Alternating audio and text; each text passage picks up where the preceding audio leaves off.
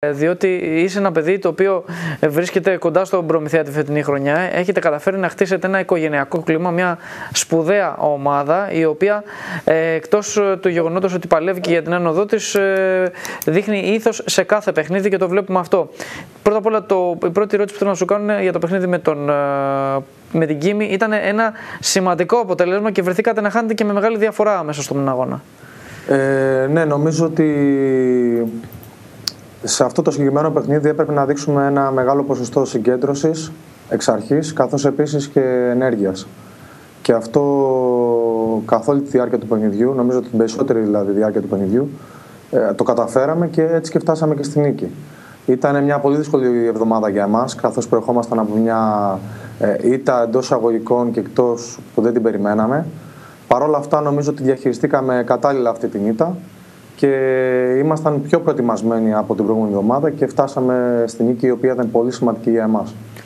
Το γεγονός ότι ε, το, ε, ε, είχατε σκεφτεί στο μυαλό σας ότι το γεγονός ότι η Κίμη ε, για περίπου 33 μήνες δεν έχανε μέσα στην έδρα της, ήταν ένα απόρθωτο φρούρο η έδρα, σας, η έδρα της. Ήταν αυτό καθόλου στο μυαλό σας ή δεν το σκεφτήκατε καθόλου, δεν το υπολογίσατε καθόλου; Όχι, όχι, ήταν, δεν το ξέραμε καν. Μετά μάθαμε ότι η Κίμη δεν είχε χάσει το γήπεδο της τόσους μήνες. Απλά εμείς ήμασταν προετοιμασμένοι και προετοιμαζόμασταν για το συγκεκριμένο παιχνίδι όλη τη βδομάδα. Είχαμε διαβάσει όλα τα του της Κίμης ε, και νομίζω ότι αυτό έπρεπε να κάνουμε ούτως ή άλλως, να μην σκεφτούμε τίποτε άλλο. Παρακολουθώντας ε, το παιχνίδι, ε, ε, παρατήρησε εγώ και αρκετοί ακόμα, φυσικά και την ψυχραιμία που είχες και εσύ προσωπικά στις βολές ε, στο τέλος. Δίνει μεγάλη σημασία αυτό σε μια ομάδα για να κρατήσει την ηρεμία της. Τι χρειάζεται ένας παίχτης για να καταφέρνει ακόμα και σε αυτά τα κρίσιμα σημεία να πετυχαίνει ε, έστω βολές; Είναι ιδιαίτερα και αυτό είναι κρίσιμο για, έναν, για μια ομάδα που παλεύει έτσι να πάρει ένα εκτός έδρας αποτέλεσμα, έτσι; Κοιτάξτε να δείτε, όσον αφορά τις βολές είναι θέμα προπόνησης, όπως και οτιδήποτε άλλο κάνεις μέσα στο, στο γήπεδο είναι θέμα προπόνησης. Ε, θέλω να πιστεύω ότι είμαι ένας αρκετά έμπειρος παίκτης. Όσον αφορά τις βολές, ε, καθαρά θέμα συγκέντρωσης, ήξερα ότι ήταν πολύ κρίσιμες και προσπάθησα να είμαι όσο πιο συγκεντρωμένος γίνεται. Από και ευτυχώς εκεί... μπήκανε και πήγαν όλα καλά για εμάς. Από εκεί και πέρα ο Προμηθέας έχει δύσκολη συνέχεια, δύσκολα παιχνίδια.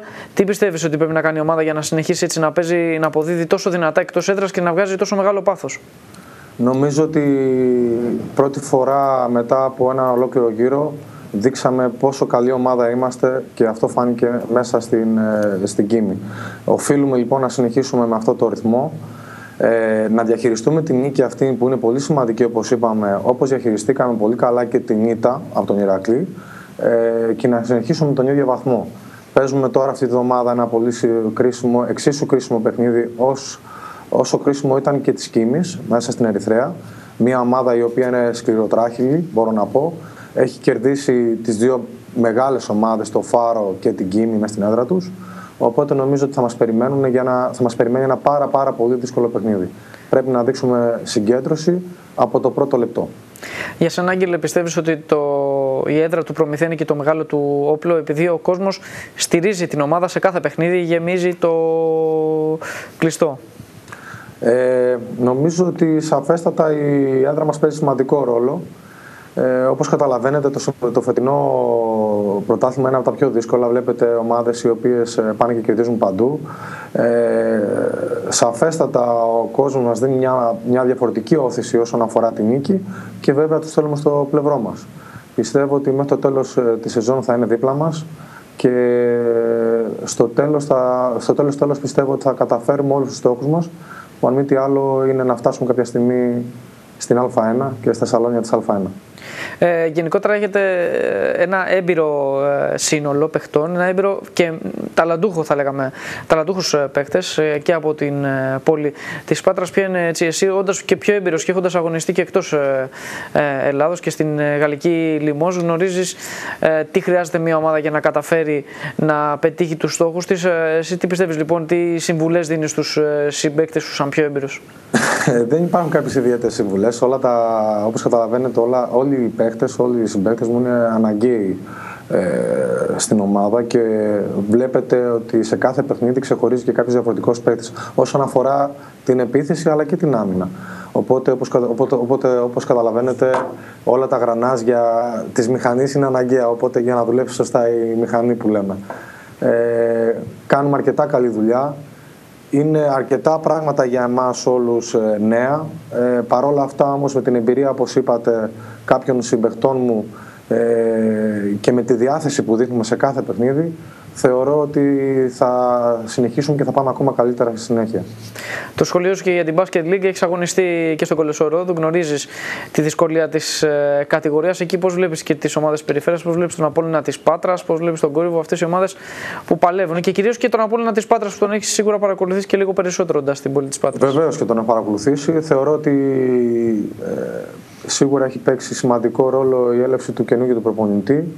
Ε, έδωσε μια άλλη πνοή στην ομάδα. Ε, έκανε, έχει κάνει πολύ σημαντικές νίκες και νομίζω ότι δεν θα έχει κανένα πρόβλημα πλέον όσον αφορά την παραμονή. Ε, Δυστυχώς, όσον αφορά για τις ομάδες της περιοχής μας, ο κόρυβος, ενώ ξεκίνησε φανταστικά αυτή τη στιγμή, ε, έχει δείξει να κάνει, ότι κάνει μια κοιλιά. Παρ' όλα αυτά, νομίζω ότι θα καταφέρει και, και ο κόρυβος. Είναι ένα παιχνίδι, είναι ένα, συγγνώμη, ένα πρωτάθλημα το οποίο ε, πρέπει να προστατεύεις καλά την έδρα σου. Νομίζω ότι ο Απόλλωνας από εδώ και πέρα δεν θα έχει κανένα πρόβλημα ε, και πιστεύω ότι, θέλω να πιστεύω ότι και ο Κόρυβος θα, θα γυρίσει αυτή την, ε, την κακιά ας πούμε, παρένθεση των τελευταίων ε, παιχνιδιών. Είχαμε δει πάντως ότι επειδή ο Προμηθέας είναι στην Α2 και ο Απόλλωνας στην Basket League είχαν τύχει να παίξουν και δύο ομάδες εντός έντρας κάποια στιγμή και παρόλα αυτά είδαμε και τον κόσμο να πηγαίνει και στις δύο ομάδες, να τις στηρίζει και τις δύο. Φαίνεται ότι ο κόσμος της Πάτρας όχι μόνο αγαπάει τον μπάσκετ, αγαπάει και τις καλές ομάδες, έτσι. Ανέκαθεν, όπως είπατε εσείς, ο κόσμος της Πάτρας ε, αγα, αγαπούσε τον μπάσκετ, το αγαπάει τον μπάσκετ, ξέρει μπάσκετ. Έχει παίξει σημαντικό ρόλο από σε αυτό. Νομίζω ότι ο Προμηθέας αυτή τη στιγμή χτίζει φιλάθλους και χαιρόμαστε να βλέπουμε το γήπεδό μας ε, γεμάτο. Ε, είναι πάρα πολύ καλό αυτό το, το γεγονός ότι και οι δύο ομάδες παίζουν την ίδια ώρα, την ίδια, την ίδια μέρα και γεμίζουν τα γήπεδα και τα δύο.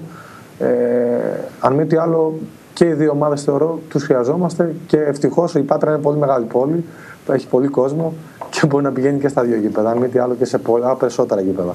Και είναι μια τελευταία ερώτηση όσον αφορά και το τι μήνυμα θέλεις να στείλεις και στον κόσμο της ε, Πάτρας για τη συνέχεια και τη μεγάλη προσπάθεια του Προμηθέα.